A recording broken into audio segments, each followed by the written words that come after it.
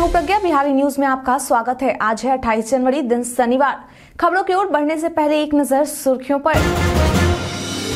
BPSC सत्रहवीं prelims परीक्षा के लिए आज जारी होगा एडमिट कार्ड नीतीश कैबिनेट की बैठक में कुल 21 एजेंडों पर लगी मुहर। फ़िल्म शूटिंग से लौटकर पंकज त्रिपाठी गाँव में करेंगे ये काम।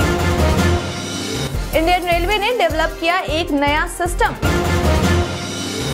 अंडर 19 विश्व कप के फाइनल में पहुँची टीम इंडिया। अब चलिए बढ़ते हैं बिहार के अब तक की 25 बड़ी खबरों की ओर विस्तार से। गृह मंत्रालय ने 1675 रिक्तियों के लिए भर्ती अधिसूचना जारी किया। गृह मंत्रालय ने सिक्योरिटी असिस्टेंट, एग्जीक्यूटिव और मल्टीटास्किंग स्टाफ के कुल मिलाकर 1675 रिक्त पदों पर भर्ती के लिए रिक्रूटमेंट नोटिफिकेशन जारी किया है। इस पद के लिए अगर एजुकेशनल क्वालिफिकेशन की बात की जाए तो कैंडिडेट को दसवीं पास होना अनिवार्य है। ऑनलाइन अप्लाई करने की अंतिम तारीख 17 फरवरी 2023 तक है। विस्तृत जानकारी के लिए आप ऑफिशियल वेबसाइट mha.gov.in पर जाकर चेक कर सकते हैं। आपकी जानकारी के लिए बता दें कि इन पदों के लिए सिलेक्शन डॉक्यूमेंट वेरिफिकेशन और मेरिट के आधार पर किया जाएगा। नीतीश कैबिनेट की बैठक में कुल 21 एजेंडों पर लगी मुहर। बीते दिन मुख्यमंत्री नीतीश कुमार की अध्यक्षता में चल रही कैबिनेट बैठक में उद्योग विभाग, नगर विकास एवं आवास विभाग, पथ निर्माण विभाग, वित्त विभाग, शिक्षा विभाग, स्वास्थ्य विभाग, सामान्य प्रशासन विभाग समेत अन्य विभागों को मिलाकर कुल 21 एजेंडों पर मुहर लगाई गई, जिसमें 2022-23 के वित्तीय वर्ष के लिए पटना के कदम कुआ स्थित महिला चरखा समिति को दो करोड़ रूपए के अनुदान की स्वीकृति दी गई है। इसके साथ ही सरकार ने पथ निर्माण विभाग के सहायक अभियंता सुनील कुमार सिन्हा को सीबीआई कोर्ट द्वारा दोषी करार दिए जाने के बाद सेवा से बर्खास्त कर दिया है। नीतीश कैबिनेट विभिन्न विभागों में पदों के सृजन को भी स्वीकृति दी है। सरकार ने वित्त विभाग में लिपिक के इकहत्तर अतिरिक्त पदों के सृजन को स्वीकृति दी है। वहीं सूचना एवं जनसंपर्क विभाग में निम्न वर्गीय सूचना लिपिक के 18 पदों के सृजन को मंजूरी दे दी है। इसके अलावा भी नीतीश कैबिनेट की बैठक में कई एजेंडों पर मुहर लगाई गई। बीपीएससी अड़सठवीं प्रीलिम्स परीक्षा के लिए आज जारी होगा एडमिट कार्ड। बिहार लोक सेवा आयोग के द्वारा बीपीएससी अड़सठवीं प्रीलिम्स परीक्षा के लिए एडमिट कार्ड 28 जनवरी 2023 यानी कि आज जारी कर दी जाएगी। वे कैंडिडेट जो बीपीएससी अड़सठवीं का प्रीलिम्स परीक्षा दे रहे हैं, वे एडमिट कार्ड रिलीज़ होने के बाद बिहार पब्लिक सर्विस कमीशन की आधिकारिक वेबसाइट bpsc.gov.in पर जाकर डाउनलोड कर सकते हैं। आपकी जानकारी के लिए बता दें कि इस परीक्षा का आयोजन बारह फरवरी दो हज़ार तेईस को किया जा रहा है, जिसका समय दोपहर 12 बजे से 2 बजे के बीच है। इस परीक्षा के लिए राज्य के 38 जिलों के 805 केंद्रों पर होगा। इसके साथ ही इस बार की परीक्षा में 150 प्रश्नों पर एक जैसी मार्किंग लागू की जाएगी। सही जवाब देने के लिए एक अंक दिया जाएगा और गलत जवाब के लिए एक चौथाई अंक काटा जाएगा। बिहारी पर्यटन में आज हम बात करेंगे वाट थाई मोनेस्ट्री के बारे में। वाट थाई मोनेस्ट्री बोधगया का एक मुख्य स्थल है। यह मोनेस्ट्री थाई वास्तु कला में बनाई गई है और बहुत सुंदर लगती है। इस मोनेस्ट्री के बाहर आपको ड्रैगन की प्रतिमा देखने के लिए मिलती है। मोनेस्ट्री के सामने सुंदर बगीचा बनाया गया है। मोनेस्ट्री के अंदर आपको बुद्ध भगवान जी की बहुत सुंदर धातु की प्रतिमा देखने के लिए मिलती है। मोनेस्ट्री के पीछे तरफ़ तालाब देखने के लिए मिलते हैं। बोधगया में और भी बहुत सारी मोनेस्ट्री और बौद्ध मंदिर देखने के लिए मिलते हैं। यहाँ पर आपको भूटान मोनेस्ट्री सिक्किम मंदिर जापानीज मंदिर कंबोडिया मोनेस्ट्री चीनी मोनेस्ट्री थे पर्ल महाविहार और भी बहुत सारी मोनेस्ट्री देखने के लिए मिलती है, जो बहुत सुंदर है और आप यहाँ पर आकर शांति से मेडिटेशन कर सकते हैं। फ़िल्म शूटिंग से लौटकर पंकज त्रिपाठी गाँव में करेंगे ये काम। बॉलीवुड के मशहूर फ़िल्म एक्टर पंकज त्रिपाठी अपनी पत्नी और अपने बेटा बेटी के साथ अपने पैतृक गाँव गोपालगंज के बेलसन पहुँचे और वहाँ रुद्र महायज्ञ में शामिल हुए। इसके बाद वे अपनी फ़िल्म की शूटिंग के लिए दिल्ली रवाना हुए। वहीं फ़िल्म शूटिंग से लौटने के बाद इस बार पंकज त्रिपाठी अपने गाँव में कई महत्वपूर्ण काम करने वाले हैं। आपकी जानकारी के लिए बता दें कि पूर्व निर्धारित कार्यक्रम के अनुसार पंकज त्रिपाठी के द्वारा अपने गाँव में उच्चतर माध्यमिक विद्यालय की मूलभूत सुविधाओं को बढ़ाते हुए सोलर सिस्टम पानी की टंकी, स्कूल के भवन को अपग्रेड समेत कई सुविधाओं का जीर्णोद्वार कार्यक्रम का जायजा लेंगे और साथ ही उद्घाटन भी करेंगे। आईजीआईएमएस में बन रहा बिहार का सबसे बड़ा नेत्र अस्पताल। जल्द ही राजधानी वासियों को बिहार का सबसे बड़ा नेत्र अस्पताल मिलने वाला है। बता दें कि पटना के आईजीआईएमएस में प्रधानमंत्री स्वास्थ्य सेवा योजना के तहत एक सौ बासठ करोड़ रुपए की लागत से बिहार का सबसे बड़ा नेत्र अस्पताल खुलने जा रहा है। मालूम हो कि आईजीआईएमएस में क्षेत्रीय शिक्षा संस्थान के रूप में विकसित करने का प्रोजेक्ट साल 2012 में प्रस्तुत किया गया था। वहीं अब उम्मीद की जा रही है कि इस अस्पताल का निर्माण आने वाले पाँच से छह महीने में पूरा कर लिया जाएगा। आईजीआईएमएस के सुपरिटेंडेंट मनीष मंडल के द्वारा दी गई जानकारी के अनुसार इस अस्पताल में एक से बढ़कर एक अत्याधुनिक मशीनें लगाई जाएँगे। इसके साथ ही पूरे अस्पताल में लगभग बत्तीस सुपर स्पेशलिटी एवं स्पेशलिटी डॉक्टर होंगे। बता दें कि इस अस्पताल में एक सौ पचहत्तर बेड होंगे और भवन में सात ऑपरेशन थिएटर होंगे और साथ ही चौबीस घंटे इमरजेंसी सेवा भी उपलब्ध होगी। परीक्षा पे चर्चा में छात्रों को दिए ये टिप्स। बीते दिन दिल्ली के तालकटोरा स्टेडियम में आयोजित परीक्षा पे चर्चा कार्यक्रम में प्रधानमंत्री नरेंद्र मोदी ने हिस्सा लिया। इस दौरान पीएम मोदी ने बच्चों को कई टिप्स दिए। उन्होंने कहा कि जब स्टूडेंट्स मुझे लिखते हैं और सलाह मांगते हैं तो मुझे खुशी मिलती है और यह जानकारी मिलती है कि देश का युवा मन क्या सोचता है। अगर परिवार में सोशल स्टेटस को लेकर अपने बच्चों से अपेक्षाएँ हैं तो ऐसे में पेरेंट्स को बच्चों पर दबाव नहीं देना चाहिए। वहीं बच्चों की कोशिश होनी चाहिए कि वे अपने पेरेंट्स की अपेक्षाओं पर खड़े उतरे। अगर बच्चे एक्टिविटी पर फोकस करते हैं तो वो दबाव से बाहर आ सकते हैं। उन्होंने कहा कि बच्चों को टाइम मैनेजमेंट के प्रति भी जागरूक होना चाहिए और सीखना चाहिए कि कैसे सभी सब्जेक्ट्स के लिए टाइम मैनेजमेंट करना चाहिए। बच्चे खुद को कमतर नहीं आके और अपनी क्षमता को समझे। एग्ज़ाम में नकल करने वाले बच्चे एग्ज़ाम तो पास कर लेते हैं, पर ज़िंदगी कभी पास नहीं कर पाते। बच्चों को हार्ड वर्क के बदले स्मार्ट वर्क करना चाहिए। इसके साथ ही पीएम मोदी ने बच्चों और माता पिता को लेकर कई बातें कही। बिहारी पहचान में आज हम बात करेंगे शारदा सिन्हा के बारे में। गीत संगीत, खासकर क्लासिकल गीतों की दुनिया में शारदा सिन्हा बहुत ही सम्मानित नाम है। इन्होंने मैथिली, बजिका, भोजपुरी के अलावे हिंदी गीत गाए हैं। मैंने प्यार किया, हम आपके है कौन तथा गैंग्स ऑफ़ वॉसेपुर जैसी फ़िल्मों में इनके द्वारा गाये गीत काफ़ी प्रचलित हुए हैं। इनके गाये गीतों के कैसेट संगीत बाज़ार में सहजता से उपलब्ध है। इन्हें कई पुरस्कार से सम्मानित किया जा चुका है, जिसमें से उन्नीस सौ सतासी में बिहार गौरव, उन्नीस सौ अठासी में भोजपुरी कोकिला व बिहार रत्न उन्नीस सौ इक्यानवे में पद्मश्री पुरस्कार 2001 में संगीत नाटक अकादमी पुरस्कार 2005-6 में देवो अहिल्या सम्मान 2015 में बिहार सरकार द्वारा सिनेयात्रा पुरस्कार और 2018 में पद्म भूषण पुरस्कार शामिल है। इसके अलावा वर्ष 2009 के बिहार विधानसभा चुनाव में शारदा सिन्हा चुनाव आयोग की ब्रांड एम्बेसडर भी रही है। वर्ष उन्नीस सौ अठासी में उन्होंने मॉरिसस के बीसवें स्वतंत्रता दिवस पर अपने गायन की प्रस्तुति दी थी।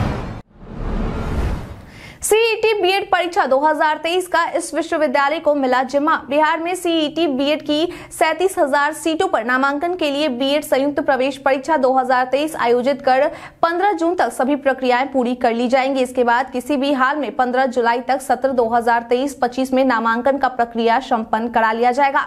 हालाँकि राज्य स्तरीय परीक्षा का शेड्यूल फरवरी माह के प्रथम सप्ताह तक जारी कर दिया जाएगा। आपकी जानकारी के लिए बता दें कि लगातार चौथी बार बीएड संयुक्त प्रवेश परीक्षा दो हज़ार तेईस आयोजित करने के लिए ललित नारायण मिथिला विश्वविद्यालय को अनुमति प्रदान की गई है। यानी कि इस बार भी आवेदन की प्रक्रिया से लेकर प्रवेश परीक्षा काउंसलिंग और नामांकन तक मिथिला विश्वविद्यालय की ओर से ही की जाएगी। 19 विश्व कप के फाइनल में पहुँची टीम इंडिया। आईसीसी अंडर 19 महिला विश्व कप के सेमीफाइनल मुकाबले में भारतीय टीम ने न्यूजीलैंड को एक तरफा अंदाज में हराकर फाइनल में प्रवेश कर लिया है। सिफाली वर्मा की अगुवाई वाली भारतीय टीम ने न्यूजीलैंड को आठ विकेटों से हरा दिया। इंडिया विमेन टीम ने टॉस जीतकर कीवी टीम को बल्लेबाजी के लिए आमंत्रित किया था। भारतीय टीम ने ज़बरदस्त गेंदबाजी करते हुए न्यूजीलैंड की टीम को निर्धारित बीस ओवर में एक सौ सात रनों पर रोक दिया। इस स्कोर तक पहुँचने में कीवी टीम ने नौ विकेट खो दिए थे। परशवी चोपड़ा ने सबसे उम्दा गेंदबाजी करते हुए तीन विकेट चटकाए। वहीं टीटर सद्धू, मन्नत कश्यप, कप्तान सफाली वर्मा और अर्चना देवी ने एक एक विकेट हासिल किए। सफाली वर्मा ने अपने कोटे के चार ओवरों में सिर्फ़ सात रन खर्च किए थे। 108 रनों को लक्ष्य को भारतीय टीम ने श्वेता सेरावत की शानदार बल्लेबाजी की बदौलत चौतीस गेंद रहते हासिल कर लिया। श्वेता ने 45 गेंदों पर 10 चौकों के साथ नाबाद इकसठ रन बनाए। दिन चढ़ने के साथ ही लोगों को होने लगा गर्मी का एहसास। बिहार में मौसम का मिजाज लगातार बदल रहा है। बदलते हालात के बीच में इन दिनों, अब दिन में लोगों को गर्मी का एहसास होने लगा है। विभाग की माने तो अगले पाँच दिनों तक प्रदेश में शीतलहर और बारिश की संभावना न के बराबर है। विभाग ने यह भी बताया है कि रात के तापमान में कोई बड़ा बदलाव न के बराबर होने वाला है। वही राज्य के सभी जिलों में न्यूनतम तापमान दस डिग्री से ऊपर बना हुआ है। उत्तर बिहार में तो फिर भी थोड़ी बहुत ठंड का एहसास हो रहा है। दक्षिण बिहार के कुछ जिलों में दिन के तापमान में काफ़ी बढ़ोतरी दर्ज की गई। धूप होने से ठंड का असर दोपहर में बिल्कुल न के बराबर रह गया है। औरंगाबाद और रोहतास में तो अधिकतम तापमान 30 डिग्री से ज़्यादा हो गया है। से अगले चार दिनों तक बंद रहेगा बैंक। अगर आप भी बैंक से जुड़ा कोई काम करने की सोच रहे हैं तो यह खबर आपके लिए है। बता दें कि आज से चार दिनों के लिए बैंक बंद रहेंगे। दरअसल 28 जनवरी को चौथा शनिवार और 29 जनवरी को रविवार और 30 और 31 जनवरी को छह सूत्री मांगों को लेकर बैंक कर्मी हड़ताल पर रहेंगे। इन छह सूत्री मांगों में बैंक कर्मियों की मांग है की बैंकिंग कामकाज को पाँच दिन किया जाए, पेंशन को अपडेट किया जाए, एनपीएस को खत्म कर दिया जाए, वेतन में बढ़ोतरी के लिए बातचीत की जाए और साथ ही सभी कैडरों में भर्ती प्रक्रिया जल्द से जल्द पूरी की जाए। यही वजह है कि इन चार दिनों में बैंक बंद रहेंगे। ऐसी स्थिति में लोगों को काफ़ी परेशानी का सामना करना पड़ सकता है, लेकिन इस बीच बैंकों के द्वारा ऑनलाइन सेवाएँ छपरा में अंग्रेज़ी शराब के साथ दो तस्कर हुए गिरफ़्तार। बिहार में शराब बनती है, लेकिन फिर भी शराब तस्कर नए नए तरीके की खोज कर शराब की तस्करी करने में जुटे हुए हैं। इसी कड़ी में बीते दिन एक बार फिर छपरा ज़िले के थाना पुलिस और एएलटीएफ टीम के द्वारा गुप्त सूचना के आधार पर ज़िले के मसरक थाना क्षेत्र के महाराणा प्रताप चौक के पास धर्म कांटा के नज़दीक वाहन चेकिंग के दौरान बड़ी कार्रवाई करते हुए भारी मात्रा में शराब जब्त किया गया। बता दें कि शराब तस्करों के द्वारा मिनी ट्रक में तहखाना में अंग्रेज़ी शराब को छुपा कर ले जाया जा रहा था। मौके पर थाना पुलिस और एएलटीएफ की टीम के द्वारा जाँच पड़ताल करते हुए 8 पीएम फ्रूटी पैक, बयालीस कार्टन अंग्रेज़ी शराब और 40 पीस बैलेंडर प्राइड अंग्रेज़ी शराब जब्त किया गया है, जिसकी कीमत दो लाख रुपए बताई जा रही है। फ़िलहाल इस मामले पर प्राथमिकी दर्ज कर ली गई है और यह पता करने की कोशिश की जा रही है कि शराब को कहाँ से कहाँ ले जाया जा रहा था। इलेक्ट्रिक वाहनों की खरीद पर सरकार दे रही सब्सिडी। अगर आप भी इलेक्ट्रिक वाहन खरीदने की सोच रहे हैं तो यह खबर आपके लिए है। बता दें कि इलेक्ट्रिक वाहन खरीदने पर केंद्र सरकार और राज्य सरकार के द्वारा सब्सिडी दी जा रही है। इसके साथ ही सरकार के द्वारा स्मार्ट सिटी परियोजना के अंतर्गत स्मार्ट पार्किंग के तहत इलेक्ट्रिक वाहनों के लिए कई तरह की सुविधाएँ भी उपलब्ध करवाई जा रही है, जिनमें चार्जिंग के लिए चार्जिंग स्टेशन और पार्किंग के लिए अलग से पार्किंग उपलब्ध करवाई जाएगी। पटना डीटीओ के द्वारा दी गई जानकारी के अनुसार पिछले छह सालों में इलेक्ट्रिक वाहनों की खरीद में काफ़ी इजाफा हुआ है। बता दें कि यह संख्या छह सालों में बढ़कर सात हज़ार नौ सौ अट्ठासी हो गई है। के पाठक ने डीएमएसपी के साथ की बैठक। बीते दिन मोतिहारी में मध्य निषेध विभाग के अपर मुख्य सचिव के के के पाठक द्वारा राधा कृष्ण भवन में डीएमएसपी उत्पाद अधीक्षक सहित सभी एसडीओ, एसडीपीओ और ड्रग इंस्पेक्टर के साथ बैठक की गई, जिसमें उन्होंने शराबबंदी कानून को सफल बनाने वाले सभी बिंदुओं पर चर्चा की और साथ ही उन्होंने कई एजेंडों पर विस्तृत चर्चा भी किया, जिसमें उन्होंने अक्टूबर नवंबर एवं दिसंबर माह में उत्पाद विभाग द्वारा गिरफ्तारी की समीक्षा। अक्टूबर नवंबर एवं दिसंबर माह में पुलिस उत्पाद विभाग द्वारा गाड़ियाँ जब्त की। कितने विदेशी शराब जब्त किए गए? कितने वाहनों की नीलामी की गई? कितने संवेदनशील जगहों पर छापेमारी की गई? जैसे कई एजेंडों पर विस्तृत चर्चा की गई। जमादार से लेकर इंस्पेक्टर रैंक तक के अधिकारियों को मिल सकता है प्रमोशन। जल्द ही बिहार में जमादार दरोगा और इंस्पेक्टर रैंक के समक्ष पदाधिकारियों को प्रमोशन मिल सकता है। इसके लिए सामान्य प्रशासन विभाग के द्वारा दिए गए निर्देश के बाद पुलिस मुख्यालय अधिकारियों के प्रमोशन के संबंधी प्रक्रिया को शुरू कर दी गई है। बता दें कि मुख्यालय के द्वारा सभी पुलिस पदाधिकारियों की सेवा पुस्तिका को अपडेट किया जा रहा है। वही अगर किसी पदाधिकारी के खिलाफ विभागीय कार्रवाई लंबित है या दंड दिया जा चुका है, उनका भी अपडेट किया जा रहा है। बिहार पुलिस मुख्यालय एडीजी जितेंद्र सिंह गंगवार की माने तो बिहार राज्य खेल कूद प्राधिकरण, सिविल डिफेंस प्रशिक्षण बिहार, विशेष सशस्त्र पुलिस और गृह रक्षा वाहिनी के डीजी, अपर पुलिस महानिदेशक और अपराध इकाई बिहार के सभी प्रभावों के प्रमुख रेंज आईजी, डीआईजी और एसएसपी, एसपी को पत्र जारी किया गया है। इंडियन रेलवे ने डेवलप किया एक नया सिस्टम। रेलवे के द्वारा एक ऐसा सिस्टम विकसित किया जा रहा है जिससे अब यात्रियों को कंफर्म टिकट पाने के लिए ज़्यादा समस्याओं का सामना नहीं करना पड़ेगा। और साथ ही इससे राज्य के राजस्व में भी बढ़ोतरी होगी। बता दें कि रेलवे के द्वारा railway in house artificial intelligence module develop किया जा रहा है, जिससे वेटिंग टिकट पाँच से छह फ़ीसदी कम हो जाएँगे और लोगों को कन्फर्म टिकट मिल सकेगा। रेलवे के द्वारा इस सिस्टम को एक बार सफलतापूर्वक प्रशिक्षण किया जा चुका है, जिसमें दो सौ ट्रेन की डिटेल को शामिल करके चेक किया किया गया कि कहाँ कहाँ सीटों की मांग रही है और कैसे मैनेज किया जा रहा है। वहीं इस सिस्टम को लेकर सफलतापूर्वक परीक्षण होने से रेल अधिकारियों की उम्मीद है कि इससे कई काम आसान हो जाएँगे और साथ ही लंबी दूरी के ट्रेनों की कमाई में पहले की अपेक्षा में बढ़ोतरी होगी। संतान की कसम खाने की उपेंद्र कुशवाहा की चुनौती का सीएम नीतीश ने दिया जवाब। बीते दिन जेडीयू नेता उपेंद्र कुशवाहा के द्वारा मुख्यमंत्री नीतीश कुमार को चुनौती देते हुए कहा गया था कि वे अपने संतान की कसम खाएँ, जिसके बाद उनके इस दिए चुनौती का जवाब देते हुए नीतीश कुमार ने कहा कि मेरे दिल में तो स्नेह है, अगर कोई बात है तो उन्हें हमसे कहना चाहिए, उनको कहने का पूरा अधिकार है। उन्होंने कहा कि जेडीयू के द्वारा ही उन्हें राज्यसभा और विधान परिषद में भेजा गया है। फिर भी उनके द्वारा दिए जा रहे इस बयान को सुनकर हमको आश्चर्य होता है। नीतीश कुमार ने कहा कि लोग अपनी पार्टी के बातों को भीतर ही रखे। उन्हें पार्टी में लाने की इच्छा मेरी ही थी। पार्टी में और कोई नहीं चाहता था कि वह पार्टी में आए। मेरे ही कहने पर पार्टी के अन्य लोग राज़ी हुए। अब वह क्या बोल रहे हैं, इसमें हमारी कोई रुचि नहीं है। इन सब चीज़ों का पार्टी में कोई मतलब नहीं है। मुख्यमंत्री केसीआर ने बुलाया सीएम नीतीश समेत इन नेताओं को। पिछले दिनों जब केसीआर के द्वारा अपनी पार्टी की घोषणा में तमाम विपक्षी दलों को बुलाया था, लेकिन बिहार के मुख्यमंत्री और उप मुख्यमंत्री को नहीं। ऐसे में राजनीतिक गलियारों में कई कयास लगाए जाने लगे थे, लेकिन बता दें कि केसीआर के द्वारा आने वाले सत्रह फरवरी को नया सचिवालय का उद्घाटन किया जा रहा है और साथ ही एक पब्लिक मीटिंग भी की जा रही है, जिसमें मुख्यमंत्री नीतीश कुमार उप मुख्यमंत्री तेजस्वी यादव और जेडीयू के राष्ट्रीय अध्यक्ष लल्लन सिंह को भी आमंत्रित किया गया है। हालाँकि इस कार्यक्रम में मुख्यमंत्री नीतीश कुमार कुमार नहीं जा रहे, लेकिन उप मुख्यमंत्री तेजस्वी यादव और जेडीयू के राष्ट्रीय अध्यक्ष लल्लन सिंह इस कार्यक्रम में शामिल होंगे।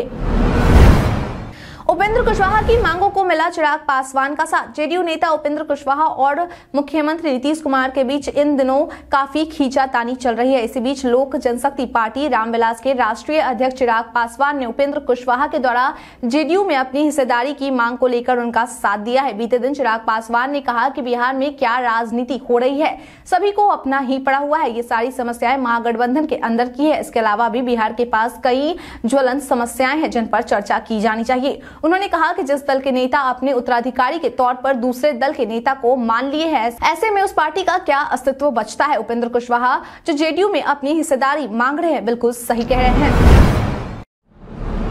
भारत के इतिहास में आज की तारीख है बेहद खास। पश्चिम बंगाल में कलकत्ता मेडिकल कॉलेज के अठारह सौ पैंतीस में शुरू हुआ।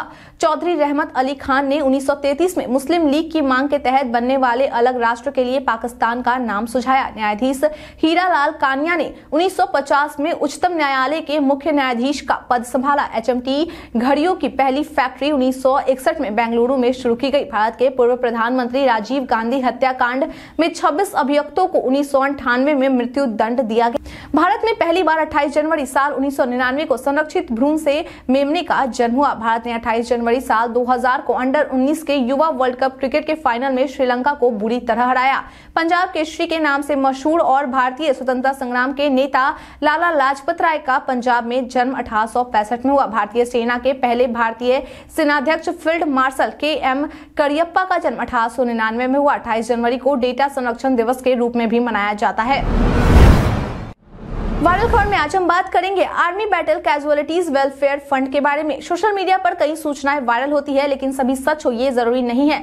इसी कड़ी में आज हम बात करेंगे army battle casualties welfare fund के बारे में। दरअसल पीआईबी ने अपने एक ट्वीट में लिखा है कि एक सोशल मीडिया पोस्ट में यह दावा किया जा रहा है कि रक्षा मंत्रालय द्वारा स्थापित army battle casualties welfare fund में आम नागरिक दिए गए बैंक खाते पर अपना मौद्रिक योगदान दे सकते हैं। पीआईबी ने अपने ट्वीट में आगे लिखा है की यह जानकारी सही है। बजट से पहले शेयर बाज़ार में हाहाकार। एक फरवरी को बजट सत्र पेश होने वाला है। ऐसे में इससे पहले शेयर बाज़ार में हाहाकार मचा हुआ है। बता दें कि कारोबारी दो दिनों में सेंसेक्स गिरावट के साथ बंद हुआ। मालूम हो कि बुधवार को बाज़ार दबाव में था। इस दिन सेंसेक्स सात सौ चौहत्तर अंक या एक दशमलव दो सात फ़ीसदी लुढ़क गया। वहीं निफ्टी भी दो अंक यानी एक दशमलव दो पाँच प्रतिशत की गिरावट के साथ बंद हुई। इसके बाद गुरुवार को गणतंत्र दिवस की वजह से बाज़ार बंद रहा। वहीं बीते दिन यानी शुक्रवार को भी गिरावट का यह सिलसिला जारी रहा। इस दिन सेंसेक्स आठ अंक या एक दशमलव चार पाँच प्रतिशत लुढ़क कर उनसठ हज़ार तीन सौ इकतीस अंक पर ठहर गई। वहीं अगर निफ्टी की बात करें तो यह दो सौ अट्ठासी अंक लुढ़क कर सत्रह हज़ार छह सौ चार अंक के स्तर पर बंद हुआ, जिसमें निवेशकों के ग्यारह लाख करोड़ रुपए डूब गए हैं। बता दें कि मिली जानकारी के अनुसार गिरावट की बड़ी वजह हिडनबर्ग रिसर्च की रिपोर्ट है। इंस्टाग्राम डीपी के लिए आया कमाल का फीचर मेटा ने इंस्टाग्राम में यूज़र्स के लिए एक कमाल का अपडेट पेश किया है, जिसके तहत यूज़र अपनी डीपी को फ़ोटो और डिजिटल अवतार के रूप में शोकेस कर पाएँगे. इसके लिए आपको सबसे पहले इंस्टाग्राम ओपन करना होगा, इसके बाद अपनी प्रोफ़ाइल पिक्चर पर टैप करना होगा. यहाँ आपको एडिट प्रोफ़ाइल का ऑप्शन दिखेगा, जिस पर टैप करे और फिर क्रिएट अवतार पर क्लिक करे. इस तरह अपने हिसाब से अवतार को कस्टमाइज कर ले. यहाँ आप अवतार का स्किन टोन हेयर स्टाइल आदि कई चीज़ें बदल सकते हैं. इसके बाद अवतार को शेव करें और इसे सेट कर दे। अगर आपने फेसबुक पर पहले को, अवतार को बना लिया है तो इंस्टाग्राम पर इसे दोबारा बनाने की ज़रूरत नहीं है, क्योंकि दोनों की पेरेंट कंपनी एक ही है। अगर आपने इंस्टाग्राम फेसबुक से लिंक किया है तो आपको फेसबुक वाला अवतार यहाँ दिखने लगेगा। पठान की सक्सेस पर शाहरुख खान की फैमिली ने दिया ऐसा रिएक्शन। शाहरुख खान की फ़िल्म पठान ने इतने विवादों के बीच घिरे होने के बाद भी सफलता पाली है। बता दें कि इस फ़िल्म से शाहरुख खान का बिग कम माना जा रहा है। मालूम हो कि पठान फ़िल्म 25 जनवरी को रिलीज़ हुई थी और घरेलू बॉक्स ऑफ़िस पर अब तक 106 और वर्ल्ड वाइड पर 235 करोड़ की कमाई कर चुकी है। वहीं जब इस फ़िल्म को शाहरुख खान की पत्नी गौरी खान ने देखा तो खुद को भावुक होने से नहीं रोक पाई और उनकी आँखों में आँसू भराया इसके साथ ही गौरी खान के द्वारा फ़िल्म की सफलता पर एक पार्टी का भी आयोजन किया गया था, जिसमें कई बॉलीवुड सितारों ने दस्तक दिए। वहीं इस फ़िल्म पर शाहरुख खान के बच्चों ने अपनी प्रतिक्रिया देते हुए अपना एक्सपीरियंस शेयर किया और आर्यन सुहाना इस मौके पर बेहद खुश नज़र आए। बीते दिन हमारे द्वारा पूछे गए सवाल का आप लोगों में से बहुत लोगों ने अपना जवाब हमें हमारे कमेंट सेक्शन बॉक्स में लिख कर दिया था, जिन्होंने हमारे द्वारा पूछे गए सवाल का जवाब दिया है। उनके नाम है कुश कुमार यादव, नुसरत बनू, अजीमा फिरदौस, रवि शंकर, मृत्युंजय कुमार, मोहम्मद सकीर हुसैन, शंकर मुखिया, दयानंद यादव, असरफी मंडल, अखिलेश यादव, रियाजुद्दीन अंसारी, पंकज कुमार दास, सदुल्लाह पलवी वेद प्रकाश सिंह, उमेश ऋषिदेव इसके साथ ही बढ़ते हैं आज के सवाल की ओर। आज का सवाल है, आपके अनुसार परीक्षा के दौरान छात्रों में होने वाले स्ट्रेस को कम करने के लिए अभिभावकों की ओर से क्या कदम उठाया जाना चाहिए। आप अपना जवाब हमें हमारे कमेंट सेक्शन में लिखकर ज़रूर बताएँ। आज के लिए इतना ही। बिहार के तमाम खबरों के साथ बने रहने के लिए देखते रहे बिहारी न्यूज़। और साथ ही अगर आप यूट्यूब से देख रहे हैं तो चैनल को सब्सक्राइब करना और अगर आप फेसबुक से देख रहे हैं तो पेज को फॉलो करना न भूले। धन्यवाद।